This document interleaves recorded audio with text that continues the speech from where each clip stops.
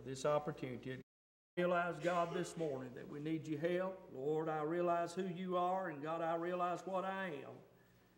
And God, I pray that you'd help us this morning. God, cleanse us, forgive us of sin and failure. And God, I pray that the Holy Spirit of God will move around this church. Lord, I pray that you'd move behind this pulpit. God, and up and down the aisles, I pray the Spirit of God would speak to our hearts, Lord, through the Word of God. Lord, we realize we're living in the last days of time, and God, we understand, Father, this morning that God, God's people, Lord, should be thankful to be at church, and be thankful to be in the house of God, and be thankful to be able to worship. And God, let us do that today. Again, help us, Lord. I can do nothing without Thee. But God, your own word tells us we can do all things through Christ who strengthens us. And I pray right now, God, you'd strengthen us today. God, do that which I can't do. Move me out of the way. Lord, I pray the Spirit of God would take over. In Jesus' name, amen. Psalms 102 and 103. And I'm just going to read a few verses out of both chapters. If I title my message this morning, From a Sparrow to an Eagle. From a Sparrow to an Eagle. And we read in this Psalms 102, verse number 1, the psalmist David is in despair. Uh, he's uh, having a hard time. Now, if I ask you this morning how many of you have had a hard time this week, I'm sure many of you'd say I've had a hard time. It's been a hard time. I've faced discouragement. I've faced, I've faced some heartache. I've uh, faced some despair in my life. Uh, sometimes we'll go for several days and, and uh, not face any of those things, but most everybody faces some hardship. If you're a Christian living for the Lord, if you're saved by the grace of God and you're living for the Lord, then the devil's going to do all he can to fight you and to fight against your life for, for the Lord Jesus. So the psalmist here is in despair in this chapter number 102. And we, we find that when we read the words that he said. And the psalmist says this Hear my prayer, O Lord, and let my cry come unto thee. Hide not thy face from me in the day when I am in trouble. Incline thine ear unto me in the day when I call, answer me speedily. So he's crying out to the Lord, God, give me help. God, answer my call, answer my prayer because I'm in despair. For my days are consumed like smoke, and my bones are burned as an hearth. My heart is smitten and withered like grass, so that I forget to eat my bread. He is so in discouragement, and he is so de- depressed and despondent that he himself has forgotten to eat. Now, friend, I, you know, I, there's been days in my life when I didn't care if I eat or not. Uh, there's been times when I've been discouraged and, and uh, just didn't even want to eat my food. How many of you have ever been that way? Raise your hand. I mean, sometimes it gets bad.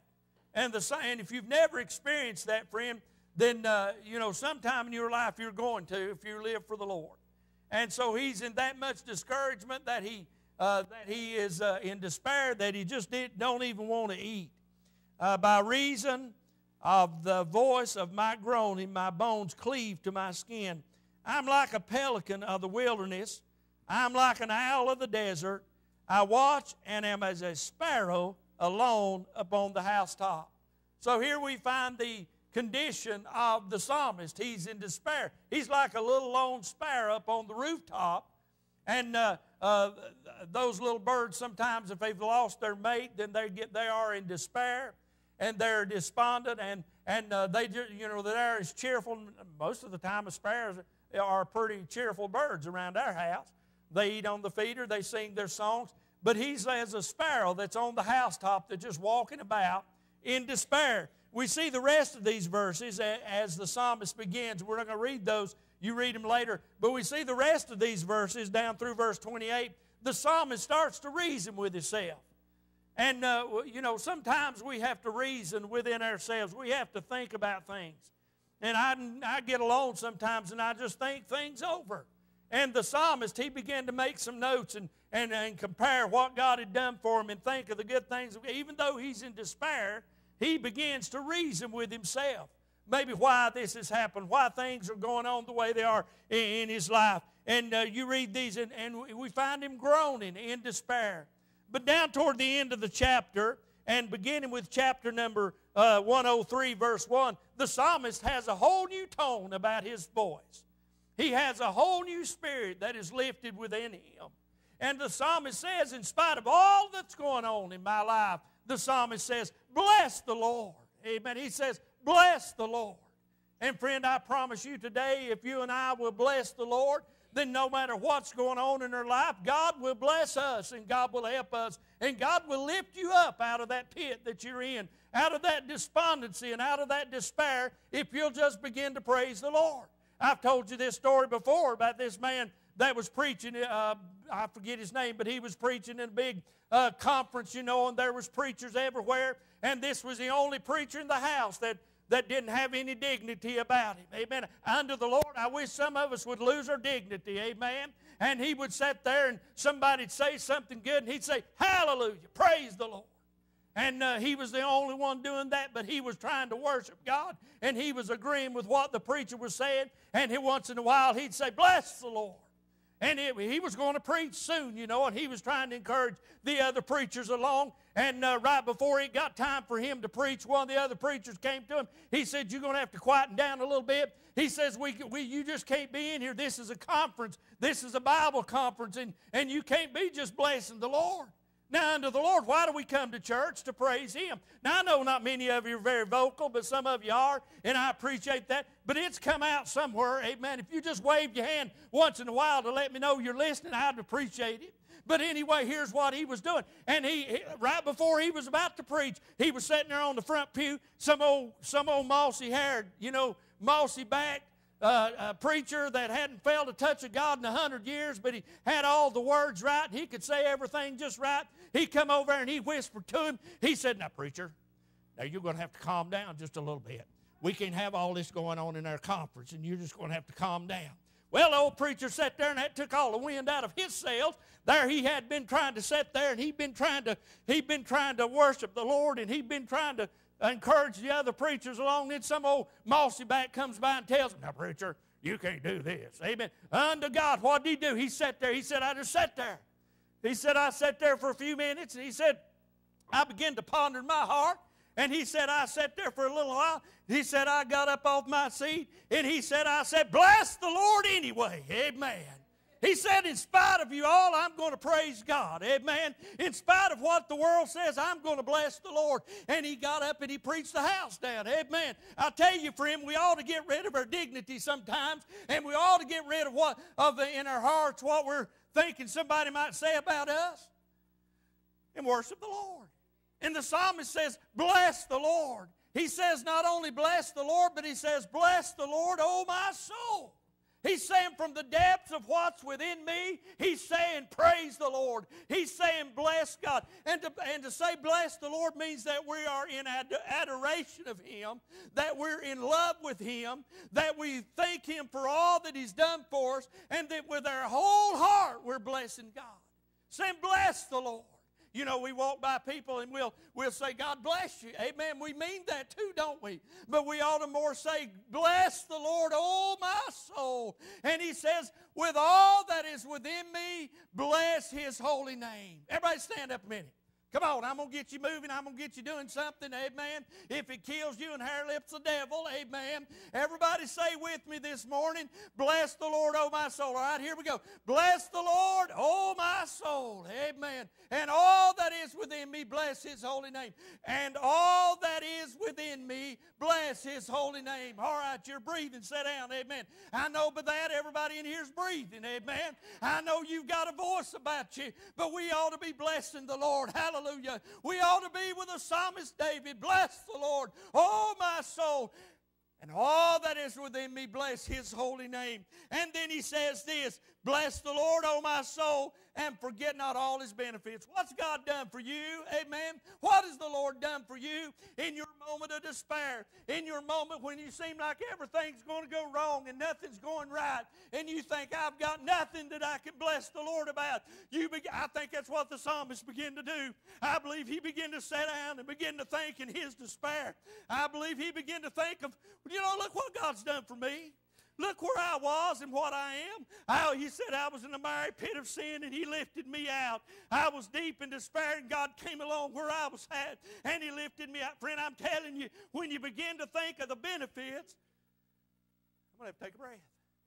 when you begin to think of the benefits of God, I'm telling you, friend, you can't help but blessing God. And he said, Forget not all his benefits. Now, I'll get to the message here in a minute. I'm introducing to you, all right? He said, I bless the Lord and forget not all his benefits. Who forgiveth all thine iniquities. Hallelujah. I'm saved by the grace of God. My sins are forgiven. Amen. That's a benefit of God that you have and who forgiveth all our iniquities, who healeth all thy diseases, who redeemeth thy life from destruction, who crowneth thee with loving kindness and tender mercies, who satisfies thy mouth with good things, so that thy youth is renewed like the eagles. He has gone from feeling like a sparrow to feeling like an eagle. That sparrow is a little lowly bird that run around on the housetop, and the eagle is one of the one of the uh, the most majestic birds that you'll ever see, soaring into the heights of heights. And he's there, and he looks good, and he feels good, and he gets above all the mess of the world, and there he is, the eagle soaring above all of it. Friend, I don't know what you're facing in your life. I don't know what you might be about to face in your life, but I know one thing: God didn't God didn't intend for us to be on the dirt. He intended us to soar like an eagle, amen, above the fray of this world. And friends, you can do it, but only by the help of God. And you can do it when you begin to bless the Lord, oh, your soul, and all that's within you, bless His holy name. Oh, I'm glad I'm saved. Amen. I'm glad I know Him. And I'm glad in these days we live in that sometimes all I have to do is begin to bless the Lord, and He helps me. So, what do we see in these verses? We see that as sincerity, as in sincerely as we can, we should bless the Lord.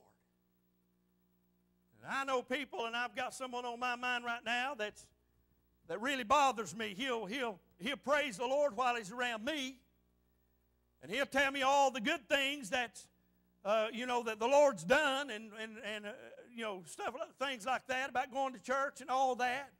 But he gets away from me and he curses and uses every foul name you can uh, think of, and, and all of that, that's hypocrisy. And friend, I want to tell you something that does nothing but drag the name of the Lord in the mud and in the dirt. And God's not ever going to honor that.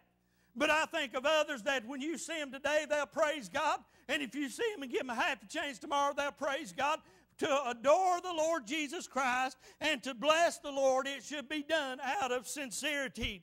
And then we should bless the Lord affectionately with great gratitude and love for Him. We bless Him with great affection. I love my wife, and I tell my wife I love her. And sometimes I give my wife a kiss and tell her I love her. That's with affection. But we ought to tell the Lord we love Him. And we ought to be with great affection when we adore Him with our hearts. And when we bow before Him, say, God, I love you. Lord, I love you. I'm not, listen, I'm not coming to you with any anything at all today but to love you. And that's what the psalmist is doing in this psalm. He's saying, Bless the Lord, oh my soul. He's not making supplication for anything that he wants in his life, but he's praying to God and he's making making, he's making his prayer of adoration. He's making his prayer of blessing to God, and he's making it known. Bless the Lord, O my soul. We should bless the Lord affectionately and show our gratitude and love for Him. And it should be something that we do at all times. I will bless the Lord, uh, oh my soul, and all that is in me. Bless His holy name. And that should be something that we do at all times. We should bless the Lord say, Preacher, sometimes I don't feel like it. Friend, I want to tell you something. Sometimes I don't feel like it. But I find out if we bless the Lord that He'll bless us. Now, we, we bless Him, and, and it should be a constant thing in our lives, and we should bless Him with our lives. Lord, take my life and let it be consecrated, Lord, to Thee. God, use me for Thy glory. Lord, help me to walk in Thy footsteps. God, help me to follow thy word. And we bless him uh, for his, with our lives, that we give our hearts to him. We should bless the Lord for the, uh, for the death of his son. That's something to bless. Lord, thank you for dying for me. Thank you for dying for me and for forgiving me of my sins. And we should do that with all that's within us. Now, look, it's easy to do other things with all that's within us. Am I right? It's easy for me to go hunting, go down there and get up at, at uh, uh, 6 o'clock in the morning or 5 o'clock, depending on where I'm going, and get up and go out and sit there on a tree. And boy, that's exciting. People say, How in the world that's boring? Is it all get it? No, it ain't. It's fun to me. And it's, sometimes that's easy, and I'll put everything into it for a little while. Then I get bored and get out and go back and eat something and go back and hunt again. Amen. That's the way I do things.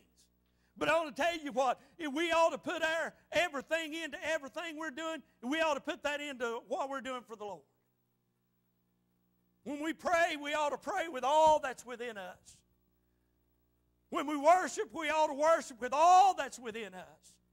And you're here today and your heart's filled with joy because you're a child of God. And if it's not, it ought to be filled with joy because you're a child of God. And we ought to be willing and ready just at any moment to bless the Lord. Amen and have it a constant thing and have it something that comes from the depths of our soul. And then I'll give you about 10 things, no, about eight things this morning. Seven. Let's narrow it down to seven, and then we'll be done. Why should we bless the Lord? First of all, we should bless the Lord for all his benefits. Now remember, David has come from the place of feeling like a sparrow on a housetop to the place where he feels like an eagle that soars above the fray. Why? Because he has got in touch with God.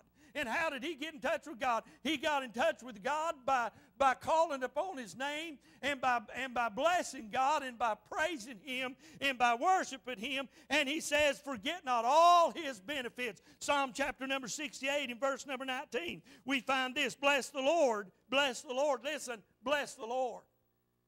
Now, you'll find that phrase, bless the Lord, 18 times in the whole Old Testament, none in the New Testament and we find that that it is it is uh, only three times uh, in the in, a, in any other book but the book of Psalms. And here it is again in the book of Psalms. Blessed be the blessed be the Lord who daily loadeth us with benefits, even the God of our salvation. He loadeth us daily with his benefits. Now listen, sometimes we're loaded down by burdens. Sometimes we're loaded down by cares. But I want to tell you what's easier to do him is cast thy burden upon the Lord, and he shall sustain thee. And when we cast our burden upon him, then he casts the burden of all his benefits upon us. He daily loadeth us with his benefits. You know what it is, load something up? Amen. You keep shoveling it on. Amen. You keep piling it on. And that's what God does for me and you. If we'll let Him and allow Him to do it in our life, He will daily load us with His benefits. So we ought to praise the Lord. We ought to bless Him for all His benefits. And they being this, we ought to bless Him for forgiveness of sin. We find that in verse number three who forgiveth all thine iniquities. We ought to thank Him for saving our souls and forgiving us of our sin. You know what's wrong with the world today? It ain't politics. You know what's wrong with the world today? It ain't terrorism, although that is a problem. The problem with the world today is sin. It's a sin problem that our country's got. It's a sin problem that our world's got. And until that sin problem's cured him, there'll be no cure for anything else. Amen. And we have a sin problem in this country, but we ought to thank God because you're here sitting saved by the grace of God. How many saved this morning say amen? That man saved by the grace of God. And because you're saved by the grace of God, thank God him, you ought to lift your head toward the Lord and say, God, thank you, thank you. Bless the Lord for forgiveness of sin, who forgives my iniquities. Oh, my friend, what a blessing, what a benefit of God. He daily loadeth us with his benefits. Number three, we ought to bless him for healing us. Now, you know what, friend? You, every one of you in here has been sick, and if it wasn't for the healing of the Lord Jesus, if it wasn't for His healing hand upon us, we'd all died. I got cut down the, down the other day. I was skinning a deer. I did kill one, by the way. I was, I was skinning that thing, and my knife got away from me. And, uh, and uh, guess what? I, I keep it sharp so it'll do a good job. And it doesn't know the difference between deer flesh and Gary flesh. And so I was, you know, I'm doing this number and got my hand away, and that knife didn't know a bit of it, and it cut me right there just a little bit. It wasn't bad, no stitches or nothing, because I felt the pain real quick and jerked my hand away. But I'll tell you something, that I would have got, listen, I'm telling you, friend, things like this make me think. I bled, but the deer was bleeding, you know, where I skinned. I didn't pay no attention to that because it just mixed in, and I didn't, I said, I'll get this done, I'll see how bad this is. And so I was bleeding and, and I got through and washed my hands off, and I saw that little cut and it's bleeding. And I, you know, I put a little pressure on it, and it quit just a little bit. But you know what? I'd have bled to death out of that little cut if it wasn't for the Lord. Now, preach, hey, I want to tell you something. I take nothing for granted. If God didn't put his healing hand upon that little cut, every drop of blood would have drained out of my body. You say, but your body naturally does that. It does that because God made it that way, and he's the one that heals me of my sickness, of my diseases. Preacher, I never had thought it, about it like that. Well, I have. You say, well, now, now wait a minute. Now, if you get if you get cut in the main artery or a main vein, you'll bleed to death. What's the difference? It's just a slower leak. If somebody had blood shooting out of their arms where they got cut in that main vein right there, and uh, you know they got a tourniquet on it, and got it all bandaged up, and got it quit. They said, "Boy, we saved your life." But I'll tell you something: it ain't man that does that; it's God. Because it don't matter what you do, if God don't heal it, friend, we ought to bless His holy name. We ought to bless the Lord who, who forgives our sins and who heals us from our diseases. Now, God don't always do that.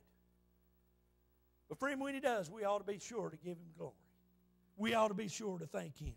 We ought to bless Him for His healing. We ought to bless Him for redemption uh, from, our, from our destruction we ought to bless him in verse number four, who redeemeth thy life from destruction. What does that mean, preacher? It means I was on the road to hell. I was lost without God, and I was pursuing a path, and I was headed down a path that could lead to nowhere but my demise in the, in the lake of fire. But guess what? Jesus Christ came down. The Holy Spirit of God came in. He convicted my heart of sin, and I said yes to the Lord Jesus Christ. And now guess what I can say? Bless the Lord, oh my soul, and all that's within him. Bless his holy name who redeemeth me.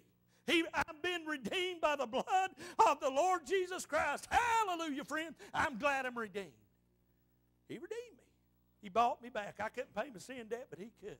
And guess what? He loved me enough that he did. All of this I'm saying to you, my friend, today is because of the love of the Lord Jesus Christ. Bless the Lord. Bless him for redemption from our destruction. Then, number five, bless him for his loving kindness we feel to say, Thank you, Lord, He's always there to say, Let me help you. His loving kindness. Bless Him for His loving kindness, who crowneth thee with loving kindness.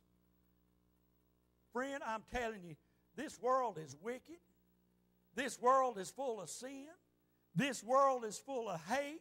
This world is full of people that are not kind one to another. I know y'all heard about the story where the, uh, the, the fellas on the motorcycles, they pulled that guy out of the car up in New York and beat him right there in front of his wife and kid. There's no loving kindness. I don't care what anybody's done. There's no loving kindness in that kind of in that situation or these people that go in somewhere and they kill a bunch of there's no loving kindness in that. Or how about that one that talks about everybody else all the time? How about that gossiping tongue? And a lot of that happens among christian people. There's no loving kindness in that but we ought to bless the lord that he has loving kindness for us. Amen. He never talks behind our back. Amen. He never just comes out and slanders his children. Why? Because he loves us and we ought to bless the lord for his loving kindness toward us and toward mankind.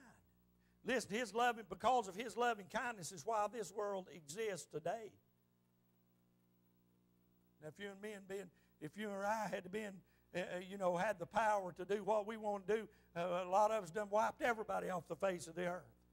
But God, in His loving kindness, brings us to this point. We ought to bless Him for His loving kindness. When we fail Him, He says, Let me help you up. We ought to bless Him for His tender mercies at the end of verse number four. Because that He, because even man in his sin, even man in his wickedness, He loves us enough. He loved you enough that He didn't cast you into hell, that He didn't just go ahead and terminate you and get you off the face of the earth, but because of His tender mercies, God's tender mercies toward you, my friend, we had the opportunity to get saved by the grace of God. By His mercy, we're saved by His grace. We're loved by His mercy, and He had mercy on me and mercy on you and give us opportunity to call upon Him. Guess what He's doing to the world today? He's being merciful to this world. He's being merciful to this world's, uh, you know, this world situation. He's being merciful to mankind. But one day, friend, that mercy is going to be cut off.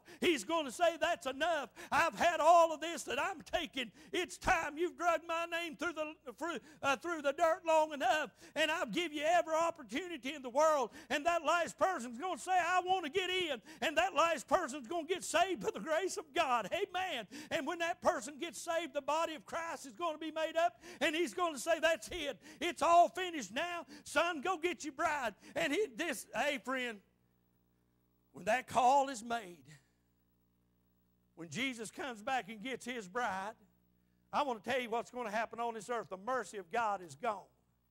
The Spirit of God has departed. And it is left the whole world, whoever's left, the whole world is left to the devil. You read it, it's there, it's in the book. We'll be covering that more here in, in the book of Revelation again on Wednesday night. But I'll tell you something, that's what the world is going to be turned over to. It's going to be turned over to the devil. And literally, friend, I'm saying literally, all of hell will break out on this earth. I mean, it's literally going to happen. The gates of hell are going to be open, and those demons in hell are going to be loosed upon this earth. Oh, I'm glad I'm not going to be here. Why? Because we're saved by God's grace. We're going home with Him. But those that are not, they're going to face the wrath of God. But why are we not now? Because of His tender mercies. When God removes His tender mercies, then friend, all everything's everything's gone. Then there'll be no hell. Oh, my friend, today, aren't you glad for the tender mercies of God? Aren't you glad Jesus gave you one more chance? Aren't you glad that He dealt with your heart? We ought to bless the Lord for His tender mercies. And then, last of all, we ought to bless Him for satisfaction. For satisfaction. Who satisfieth thy mouth with good things. Man, God satisfies the soul. I'm satisfied with my salvation. I'm not satisfied a lot of times in my life, but I'm satisfied with my salvation. I'm born again by the grace of God. Amen. Hallelujah. You say, now that just happened. No, I, I think God's saying amen to that too, don't you? Amen. Praise the Lord. I ain't heard that all service, and there it is. When I say thank God, I'm glad for my salvation. I'm satisfied with my salvation. Oh, friend, God in heaven's the one that satisfies us. Are you satisfied? Are you satisfied in your heart today? Do you know that your name's written in the book of life? Then you ought to say, Bless the Lord. And if you're not, then you know what you ought to do? You ought to say, God, help me. I pray, God, have mercy on me. And you ought to fall on your face before God and say, Lord, have mercy on me, a sinner. So we see the psalmist coming to a close here this morning. After all of this, after all the all the doubt and all the worry and all the fear in chapter 102, when his place is feeling like that of a sparrow wandering around on the housetop, we find him here as feeling like an eagle soaring in the skies, far above the fray of this world, far above the, the problems of this world. Friends, you can do that. I can do that. We're living in terrible times. The government don't know what it's doing. The politicians don't know what they're doing. Nobody knows what they're doing. But guess what? God knows what He's doing. Hallelujah. I'm glad He does. And I don't worry. I don't sit at home at night. I don't sit at home at night. Oh, oh, what are they going to do? Is the government going to open back up? Who cares if the government opens up? Doing pretty good, ain't we? Or, or, are they going to do this? Are they going to do that? Am I going to have me in? Hey, God in heaven, thank God him. He's sitting up there and he ain't sitting there twiddling his thumbs. He knows exactly what's going on. And because I'm his, thank God, in the worst of our days, in the most desperate times of our lives, if we'll just bless God, we can soar as eagles. There's a time in an eagle's life there's a time in an eagle's life every year when he has to molt. That eagle, he gets, he gets in, a, in a place where all his feathers have to come off. And when that time his feathers come off and he grows new feathers, he's down there and on the ground and his feathers come off and he can't fly, he's in despair. He, but when he gets his feathers back, when he gets his wings back, for that short time, maybe he's down. For that short time, brother, maybe he's out. But when he gets him new feathers and when he goes through that molting process, he begins to get up, you know, and he begins to soar about and he begins to look back down where he was wrong and he, and he gives that call of victory and he squeals that call of victory. Why? Because he's no longer down there in the dirt. And I'll tell you sometimes, friends, we get down. When you see your brother down, when you see your sister down in despair, we ought to be blessing the Lord and encouraging them to bless the Lord. we ought to be encouraging them to get up off of there and soar back with the eagles and get up. Wow, look by blessing the Lord. So, where are you today? Are you as a sparrow or are you soaring? Have you had a rough week? Are you having problems in life? Are you facing discouragement? Are you facing depression? Are you facing things in your family you just